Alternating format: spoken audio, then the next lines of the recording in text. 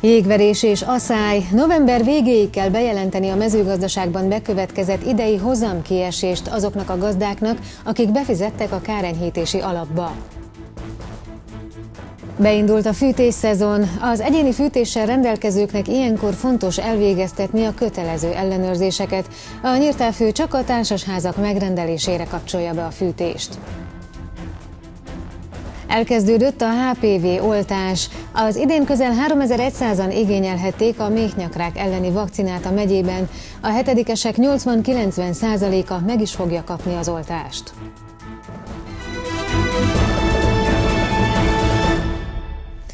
November végéig kell bejelenteni a mezőgazdaságban bekövetkezett idei hozamkiesést azoknak a gazdáknak, akik befizettek a kárenyhítési alapba szeptember közepéig. A Kölcsei Televízió iradóját látják. Köszöntöm Önöket!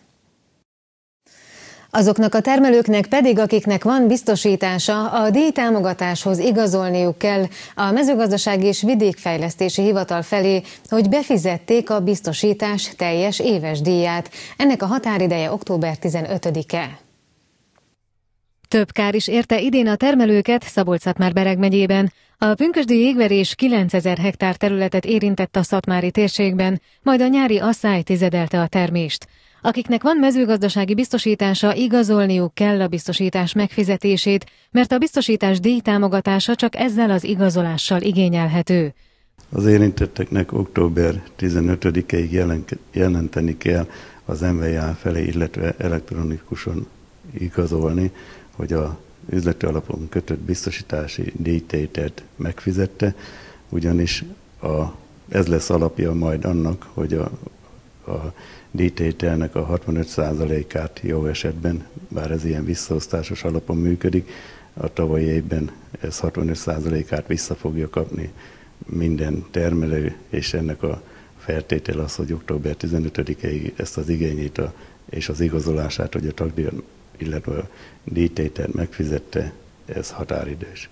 A gazdálkodók a kárenyhítési alapból is kaphatnak segítséget. A 2015-ös kárenyhítési évbe a 2014. november 1 -e és 2015. október 31-e között bekövetkezett káresemények tartoznak bele.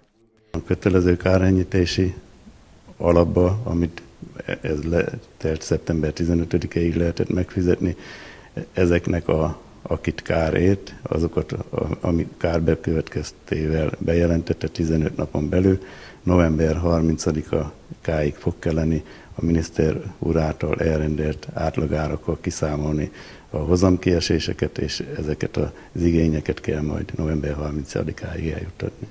A kárigények bejelentésére a mezőgazdasági kockázatkezelési rendszer felületén van lehetőség.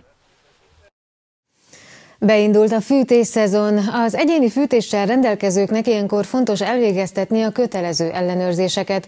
Ilyen a gázkészülékek, a kémények és a szénmonoxid érzékelők felülvizsgálata. A nyírtávfő csak a társasházak megrendelésére kapcsolja be a fűtést. Ezt a közös képviselő vagy a fűtési megbízott kérheti írásban, e-mailen vagy faxon. A megrendelést követően a nyírtávfő várhatóan egy napon belül elindítja a szolgáltatást.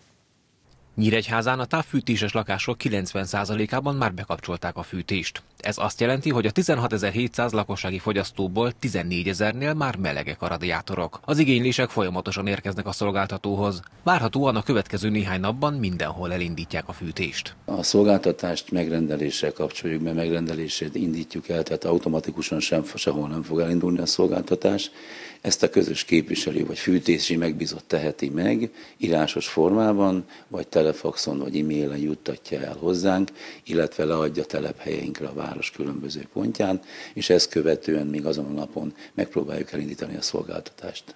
Jó László elmondta, Nyíregyházán összesen 55 ezer költségosztó van a radiátorokon. Ezek átprogramozásának 90%-ával már végeztek. Jelenleg azokra a helyekre járnak vissza, ahol nem voltak otthon a megrendelők. Az átprogramozásra azért van szükség, mert változott az elszámolási időszak. Most már május 15-től a következő év május 15-ig tart. Az egyéni fűtéssel rendelkezőknek ilyenkor fontos elvégeztetni a kötelező ellenőrzéseket. Gázkészülékeket az év folyamán a fűtési szezon megkezdése előtt érdemes ellenőriztetni a gázszerelőkkel. Mi a kéményeket ellenőrizzük az egész év folyamán, kollégáink járják a területeket, és ahol be tudnak jutni, ott mindenkinél ellenőrzik a készülékeket. Szénmonoxid érzékelőt azoknál a készülékeknél érdemes beszerezni, ahol nyílt égésterű kazánok vannak, vagy vízmelegítő, és mindenképpen a kazán mellé helyezzék el ezeket. A kirendeltség vezető hozzátette, a szénmonoxid érzékelők megbízhatósága között jelentős különbségek lehetnek, ezért érdemes a magasabb árkategóriájú 10-15 ezer forint körüli készülékeket megvásárolni. Jövőre több mint másfél millió, 2017-től pedig mintegy 3,8 millió magánszemély adózónak nem kell az adóbevallást benyújtania. Helyettük a dokumentumot az adóhatóság készíti majd el, közölte Tállai András, a Nemzetgazdasági Minisztérium parlamenti és adóügyekért felelős államtitkára budapesti sajtótájékoztatóján, adta hírül az MTI. A Nemzetgazdasági Tárca benyújtja az országgyűlésnek az adózás rendjéről szóló törvénymódosítási javaslatát témát. Tállai András ismertetése szerint a 2015-ös év utáni adóbevallást annál a több mint másfél millió magánszemélynél, akiknek kizárólag munkáltatótól származó jövedelme van, és nem vesznek igénybe adókedvezményt, a Nemzeti Adó és Vámhivatal készíti majd el. A 2016-ra vonatkozó adóbevallást 2017-ben már teljes egészében az adóhivatal fogja elvégezni. Ez azt jelenti, hogy 3,5-3,8 millió embernek nem kell bevallást benyújtania, sem elektronikus, sem papír alapon, írja a távirati iroda. Elkezdődött a HPV oltás beadása a megyében. Kedden Nyíregyházán a Vécsei Károly általános iskolában kapták meg a méhnyakrák elleni védőoltást a hetedikes lányok. Az idén közel 3100-an igényelhették az ingyenes vakcinát a megyében. A hetedikesek 80-90 százaléka meg is fogja kapni az oltást. Évente majdnem 1500 új HPV-vel fertőzött beteget regisztrálnak hazánkban. A ményakrák a nőknél a meldaganat után a második vezető ráktípus és halálozási ok. Az első szúrás után kapnak majd egy másodikat is a hetedikes lányok, így két oltással több évtizedre védettségük lesz a HPV vírussal szemben ha megkapja ezt a védőoltást, akkor egy fajta ellenanyag képződik a szervezetbe, a humán papillómavírussal, ezután is találkozik a kislány, hát majd később a szexuális élete során éppen azért kell még akkor adni ezt a védőoltást, amikor a szexuális, aktív szexuális élet nem indul be, és akkor már úgy fogadja a szervezet, akinek van a vérében egyfajta ellenanyag szint. Tehát ilyen módon, ha már találkozik azzal a vírussal, akkor az már nem tudja elindítani azt a hám vagy nyálkahártya elfajulást, amiből rákos sejtek tudnak kialakulni. Az orvosok ajánlják a védőoltást, mert a vakcina biztonságos, és nincs még egy olyan daganatos betegség, mint a ményakrák, ami megelőzhető egy oltóanyaggal. A kamaszlányok szüleinek a felelőssége, hogy kérik-e a védőoltást, ami egyébként felnőtt korban is beadható. A korábban több tízezer forintba kerülő védőoltást a hetedikes lányok most már díjmentesen kapják meg. Programot dolgoz ki a Magyar Szocialista Párt, amelyel a vidéket érintő problémákra szeretnének választ adni. A párt nyíregyházi tájékoztatóján elhangzott a következő napokban Gőgös Zoltán, az MSZP országos alelnöke az állami földek bérbeadásával kapcsolatos vitatott ügyek helyszíneit keresi fel a megyében.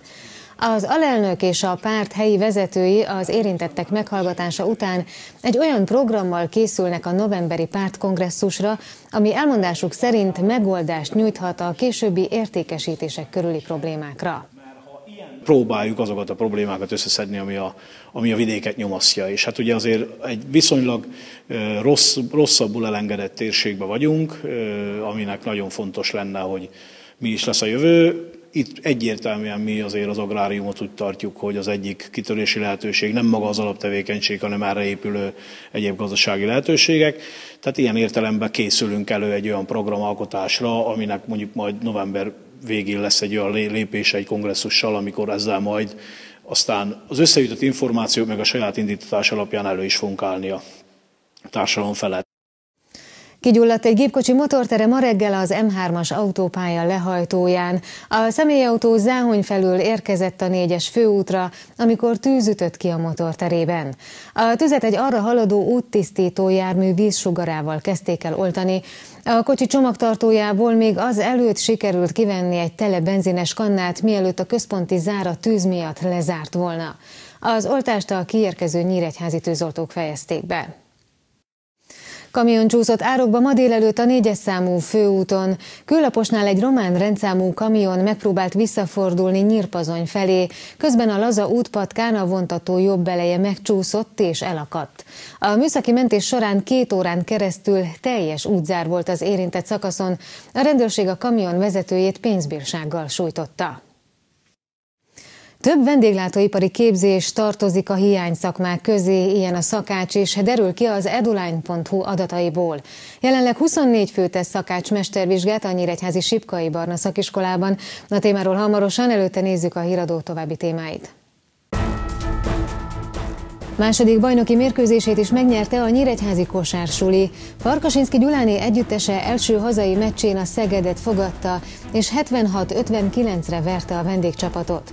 A nyíregyháziak legközelebb október 25-én lépnek pályára. Futballünnepre készülnek Nagyecseden. A megyei első osztály újonca a Magyar Kupa harmadik fordulójában az NB1-ben Illovas Ferencvárost fogadja. A mérkőzés, amelyre a rendezők 2000 nézőt várnak, szerdán 14 órakor kezdődik.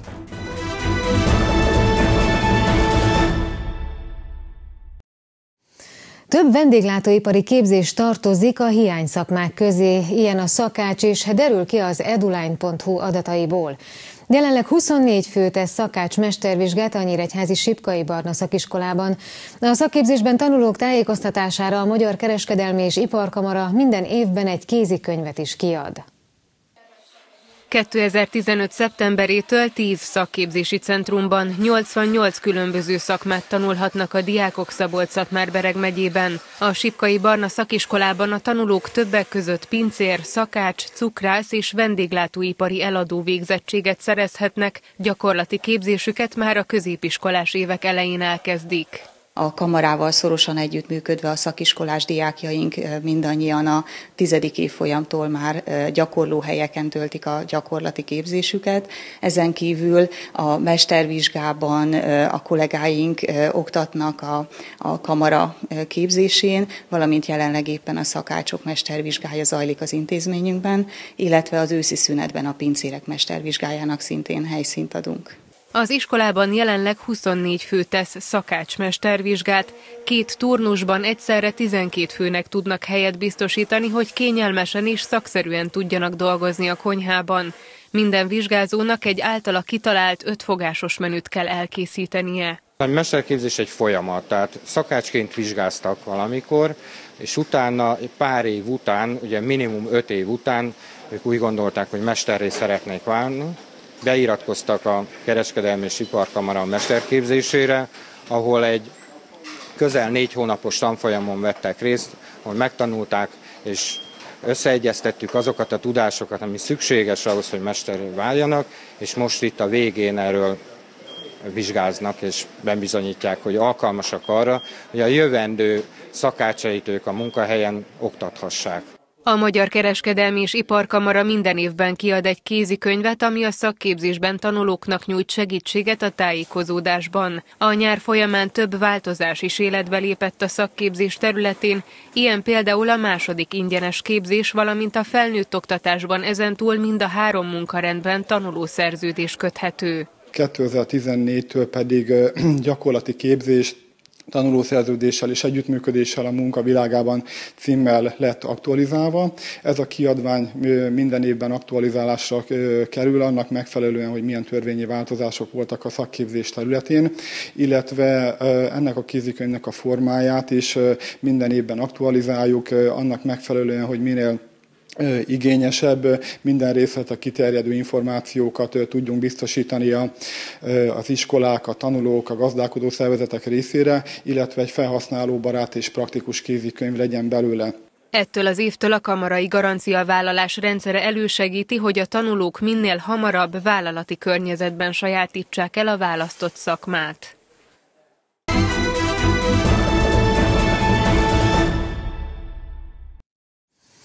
Második bajnoki mérkőzését is megnyerte a Nyíregyházi kosársuli. Farkasinszki Gyuláni együttese első hazai meccsén a Szegedet fogadta, és 76-59-re verte a vendégcsapatot. A Nyíregyháziak legközelebb október 25-én lépnek pályára. Jól kezdte a meccset a hazai csapat, az első negyedet 29 hétre nyerték a nyíregyháziak. A második 10 percben 6 pontot faragott hátrányából a Szeged, de a házigazda a harmadik 10 percben visszaállította a különbséget. A negyedik negyedben már újoncokat is avatott az NKS, amely végül a 27 pontig jutó Pap Claudia vezérletével 17 pontos győzelmet aratott a Tiszapartiak felett. Egy jól induló mérkőzés volt, tehát hogy már rögtön az első percekben megszereztük a vezetést, és ezt folyamatosan csak növeltük. Volt már közt az első negyedben is 20 pont, utána ugye elkezdtük a cseréket becserélgetni, hogy mindenki kellő játékidőt kaphasson a pályán, akkor egy picit megtölt a lendület, a védekezésünk akadozott, ugye a blokkokkal nem mindig úgy tudtunk menni, hogy mi szerettük volna. A letámadás ellen alának sikerült jól megoldanunk a támadójátékot, zóna védekezés viszont megint egy picit gondot okozott számunkra. Ez az, amiben még mindig javulnia kell a csapatnak, de összességében úgy gondolom, hogy mindenki kellő játék lehetőséghez jutott, mindenki megpróbálta hozzátenni azt, amit ő saját maga tud, és egy értékes győzelmet arattunk a Szeged ellen. Már a hétvégén rendeznek fordulót az amatőr nemzeti bajnokságban, a nyíregyháziak nem lépnek pályára. A sorsolás az úgy adódott, hogy vannak benne ilyen hézagos mérkőzések, ami alapvetően nem nagy gond, mert megfog mérkőzéseink vannak, tehát hogy azon a csapatnak a 80%-a játszik, Szalagavató van a hétvégén, ahol az egyik játékosunk érint, tehát a csapatot is meghívta, tehát én úgy gondolom, hogy nem gond az, hogy most pihenő van, és ugye ami a legfontosabb, hogy a, hogy a a Debrecennel játszunk majd itt a 25 i hétvégén, és utána megint egy hét pihenő következik. Az azért jó, mert ugye halottak napja van, és évek óta nekünk minden egyes alkalommal november 1-én mérkőzésünk volt, hát végre el tudjuk engedni a játékosokat, hogy a családdal tudjon kimenni a temetőbe, emlékezzen meg a, a, a szeretteitől. Tehát szerintem ez így most nekünk ez teljesen jó, ami hiányunk van, azt a megfog mérkőzéseket pótolni fogjuk. Két fordulót követően a Nyíregyházi kosársuli mellett az MTK áll két győzelemmel a bajnokság keleti csoportjában. Futball ünnepre készülnek Nagyecseden. A megyei első osztály újonca a Magyar Kupa harmadik fordulójában az NB1-ben éllovas Ferencvárost fogadja. A mérkőzés, amelyre a rendezők 2000 nézőt várnak, szerdán 14 órakor kezdődik. Egy vidéki településen mindig eseménynek számít a Ferencváros vendégjátéka, főként akkor, ha tétmeccsen lép pályára a legnépszerűbb magyar csapat. A 70-es évek közepe óta a megyében Tyukodon, Tiszavasváriban, Petneházán és Nyíregyházán is játszott a kupameccset a zöldfehérek, szerdán pedig Nagyeseden vendég szerepel az NBA tabelláját 13 pontos előnyel vezető fővárosi együttes. A megyei első osztályban újoncként a második helyen álló ecsedieknél érthetően nagyon várják a Fradi elleni mérkőzést. Szatmáron nem is tudom mikor után Tyukodon volt még utoljára Ferencváros, nagyon régen, tehát aki futballozott valaha, azt gondolom, az mindenki ott lesz, meg azon kívül is. Azért csak egy Ferencváros, tehát egy kis csapat életében ez óriási nagy dolog. Én úgy gondolom, egy jó hangulatú meccs lesz, ez eleve egy fraditából, tehát ismerni kell az embert, a hírek kirázza, hogyha elkezdenek magyarámon beénekelni. Tehát én úgy gondolom, nekünk nem az eredményekkel foglalkozni, nekünk veszteni való nincs. Egy nagyon jó hangulatú mérkőzés, hogy emlékezzenek rá az emberek még sok év múlva is. A mérkőzésre 2000 nézőt várnak a rendezők, akiket nem kis kihívás elé állított a biztosítás megszervezése. Nekünk ez nagyon nagy gonddal jár, azért csak egy Ferencváros kiemelt fontosságú az NB1-be is. Hát nem is tudom, hogy 30-40 biztonsági őr, akit nekünk kell állni, plusz 100, nem tudom megfogalmazni pontosan, hogy hány fő, tehát rengeteg rendőr lesz biztonsági őrtől kezdve minden, ugyanúgy beléptető rendszer lesz, tehát motozástól kezdve minden, csak egy Ferencváros, tehát én úgy gondolom megfelelően felkészültünk, ahogy lehetett. A Nagyecset Ferencváros mérkőzés szerdán 14 órakor kezdődik, a szurkolók pedig már 11 órától elfoglalhatják helyüket a pálya körül. Híradónk végén nézzük a legfontosabbakat röviden még egyszer. November végéig kell bejelenteni a mezőgazdaságban bekövetkezett idei hozamkiesést azoknak a gazdáknak, akik befizettek a kárenyhítési alapba szeptember közepéig. Azoknak a termelőknek pedig, akiknek van biztosítása, a díj támogatáshoz igazolniuk kell a mezőgazdasági és vidékfejlesztési hivatal felé, hogy befizették a biztosítás teljes éves díját, ennek a határideje október 15-e. Beindult a fűtésszezon. Az egyéni fűtéssel rendelkezőknek ilyenkor fontos elvégeztetni a kötelező ellenőrzéseket, ilyen a gázkészülékek, a kémények és a szénmonoxid érzékelők felülvizsgálata. A nyírtelfő csak a társasházak megrendelésére kapcsolja be a fűtést. Ezt a közös képviselő vagy a fűtési megbízott kérheti írásban, e-mailen vagy faxon. A megrendelést követően a nyírtávfő várhatóan egy napon belül elindítja a szolgáltatást. Elkezdődött a HPV oltás beadása a megyében. Kedden Nyíregyházán a Vécsei Károly általános iskolában kapták meg a méhnyakrák elleni védőoltást a hetedikes lányok. Az idén közel 3100-an igényelhették az ingyenes vakcinát a megyében, a hetedikesek 80-90 százaléka meg is fogja kapni az oltást.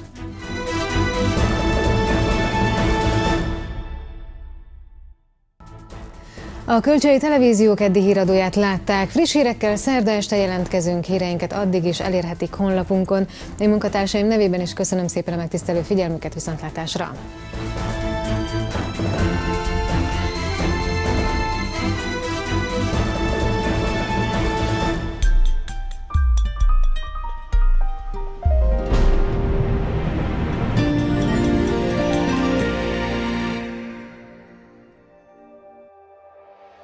Holnap borongós időre számíthatunk kisebb esővel. Délnyugat felől egy újabb mediterrán ciklon éri el az országot, ismét nagy nedvesség tartalmú, egyre enyhébb levegő árasztja el a Kárpát-medencét. Éjjel jobbára erősen felhős vagy borult lesz az ég, a késő esti óráktól kisebb eső már előfordulhat. A keleti szél helyenként megélénkül, reggelre általában 6 fokig csökken a hőmérséklet. Holnap napközben erősen felhős vagy borult lesz az ég, kisebb eső zápor továbbra is valószínű, a keleti szél helyenként megélénkül, délutánra 13 fokig emelkedik a hőmérséklet, melegfronti hatás van térségünkben. A hét második felében folytatódik a borús őszi idő, inkább csak hétvégén bukkanhat elő hosszabb időre a nap, összességében sok felé várható eső zápor, csak vasárnapra mérséklődik a csapadék hajlam. Az éjszakák ugyanakkor már enyhébbek lesznek és kisé erősödik a nappali felmelegedés is.